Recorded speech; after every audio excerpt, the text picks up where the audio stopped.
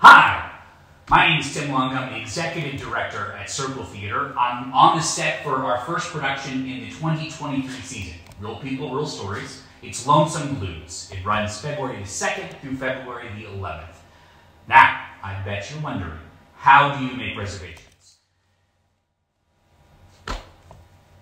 I'm kind of wondering that myself too, because we switched over our ticketing system. We now use tickets to the city, and I will be happy. Someone, Jordan, our box office manager, is going to be outstanding and, tell you how to make reservations for our first production and of your season tickets and all the different reservation policies that we have. Right, Jordan? Right, Tim. Here is a clear step by step plan on how season ticket holders can book their reservations online.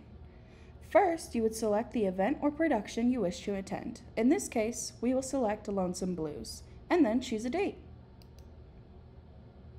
Once there, you will select the day you wish to attend. Select the section.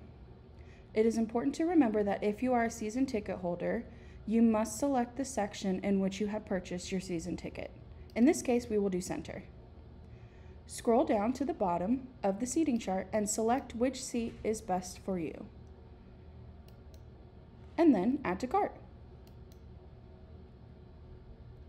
It is important to review your order before you continue on to checkout. Then go to step two and enter in your transaction number.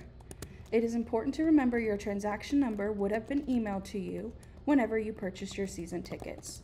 Using that same email address, type in the ticket package email address. Then redeem your credits. Congratulations, you have just booked your ticket reservations.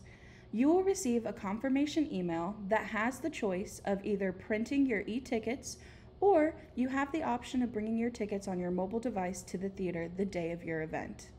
If you have any questions or any trouble booking your reservation, please feel free to call the theater at 817 877 3040. Thank you.